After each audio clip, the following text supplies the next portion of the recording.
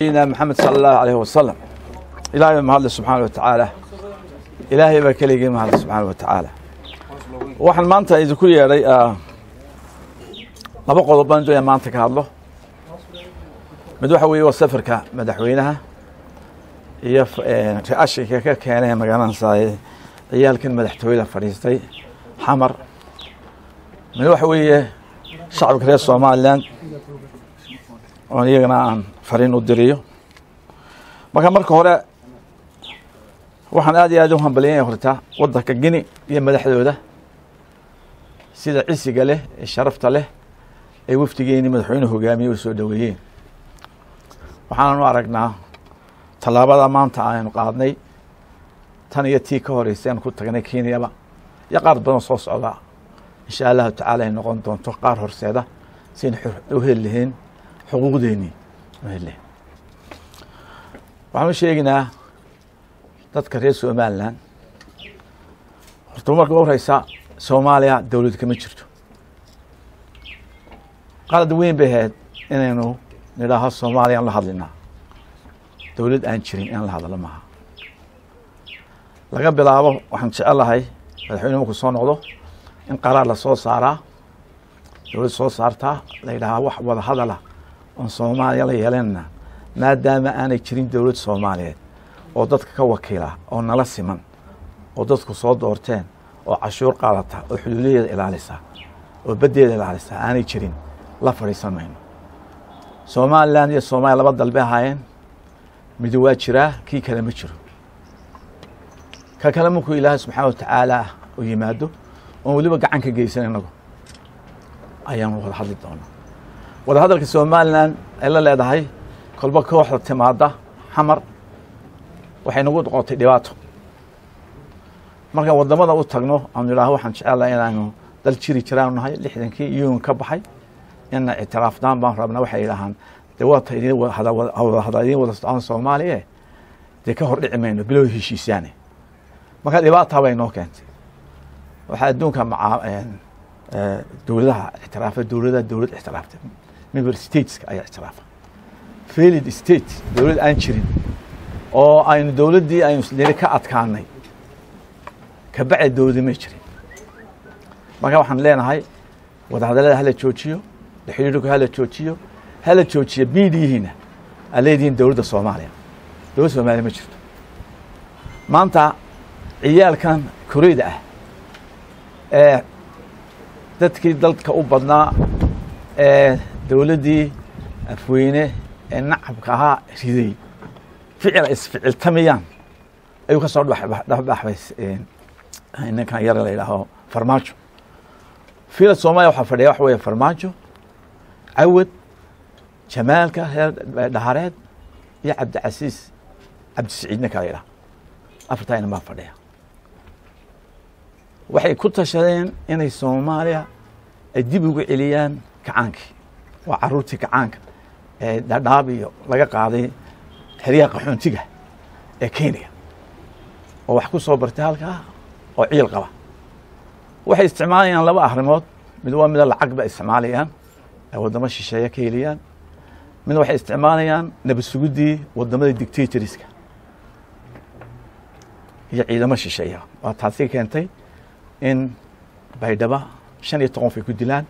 Qofkii doonaya ay saaraan ninkii dadku doonaya xidhaan waata keentay inay maalin kasta xamar ay dadka ku laayaan dadka bajaajka wada ku laayaan. Waata keentay inay guryaha ugu dhacaan dadkii xoreeyey soomaaliya ka xoreeyey siyaad bare. Waata keentay inay meydkooda xitaa cidlo ku aasaan. Waxay nimankaas ku hamiyayaan waxay idhaahaan markaan ka soo adkaana dowlad goboleeda somalilan gelin geli noogu qaadan mayso ku sheekeeya waa afartaa inaan yaryar iyo inta cagaa ku qaataan. Haddaba maxaa waxaa siiyey dhiiridnimada dhiirid waxaa siiyey waxaa weeye maamul xumaanteena kala qaybsanaanteena cuqaasheena salaadiinteena qabyaalad ma wax kaloo hadlayna waxaan leenahay madaxweyne waxaan leenahay dadka hamidee madaxweyne waynu dadka mideeyaa daldilaacii ka soo qabtay ku dhacay doorashadii ka kabaa waxaan leenahay waa in doorasho u qabtaa.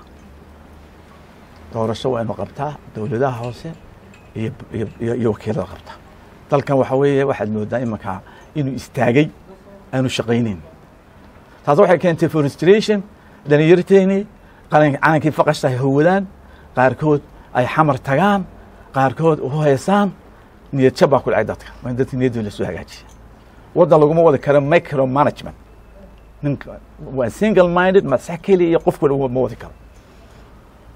Waxaa intaa ka daran reer yaro halkan degan oo maxamuud saleebana ayaa isna inoo hanjabiyey ba halkan jan halkan iyagana ku sheegay. Maxamuud saleebaan waa cabdi ciisaha ka badan. Cabdi ciisa maamul bay samaysteen. Ya dowlad bay iska dhigeen. Ya puntland bay la baxeen innaga abada solia sanaag baan xoreynayna solia sanag horta ma yaqaanaan suldaanka ay wersegeen waxaan leeyahay war wala maxamuud saleebaan aan wax ka aqdhicinaynin dhulkaaga dagaal haka gelin yaanu noqon sanaagta bari dhul lagu reegdimo yaanu noqon xaaraan bay ka tahay in xadka soomaaliya la bedelaan oo maxamuud saleebaan ay bedelaan subar baawa iska sheegaan haddaa durbaanka qabiilka la joojin waayo waxaan sheegay maxamuud saleebaanka dagaalka caya koonfurteeda cid degan waad garanaysa waa niman irira haddaan walahi siidhig ugu dhufto maanta.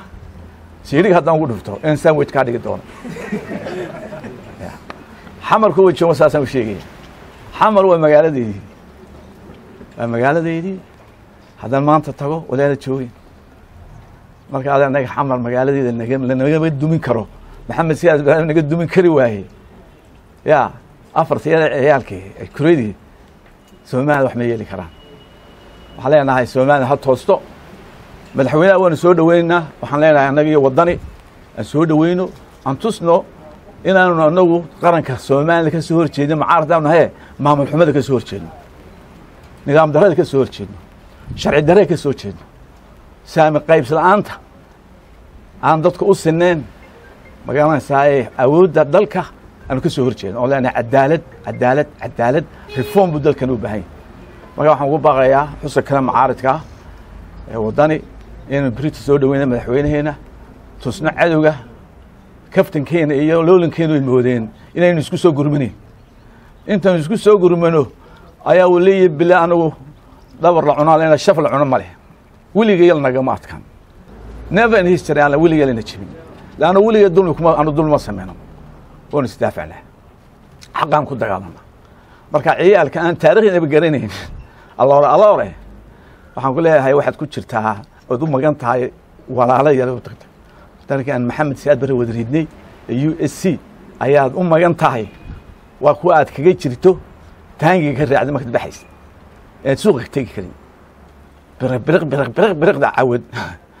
Yaa yaani kullugoyn iyo jamaaryare waxaan ku leenahay waa soo jeednaa waa wake up call shaleeto waxay ku dhaceen waa wake up call waxaan tusayaa halkii maanta se lainoo dalacsaday gelay nagu qaadan maysa yidhahan somaliland kalo baqbaqdeen awdal baan la hadli doonaa laascaanood baan la hadli doonaa baran baan la maxay annaga doonayna qaqayma inanta yaryare haddaba iyaga ku jira oo magan u ah laba iyo labaatan kun oo ciidamo shishay ah ay magan u yihiin anagu magan umanhay anaga dalkeeda joogna marka walaali waxaan leeyahay saxaafadda waktigan oo kale waa isgarab taagaa dowladda we have to rally behind the president and the government.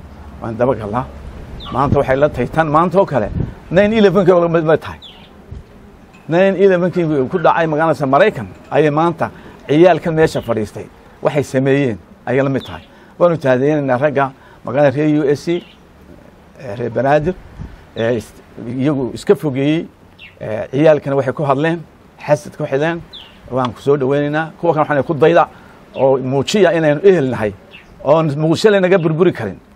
Tusa. Yaan leeyahay wasalaamu calaykum waxmatullahi wabarakatu xisbiyada macaaridka wadani iyo ucudba si midaysan baarka naga shacbiga u mideeyo socdo waxa waana u sheegay. Hadda waana ku sheegaya doorasho ha qabto dowlad shaqaysa ha qabto oo tayo leh ha qabto. Dowladdan iyo dowladdiisa iyo shacbiga way kala go'ayin maanta waxa laynagu arkay waxa weeye dowlad aan shaqaynayn oo istagnata madaxweyne keliya ma shaqayn karo. Waxaan leenahay doorashada ha qabto reshabal ha sameeyo dowlad tayo leh oo maanta waxaan haysanaa opportunity fiican fiican baynu haysanaa. Intaasoo wadamoon la xidhiino diyaar inoo ah.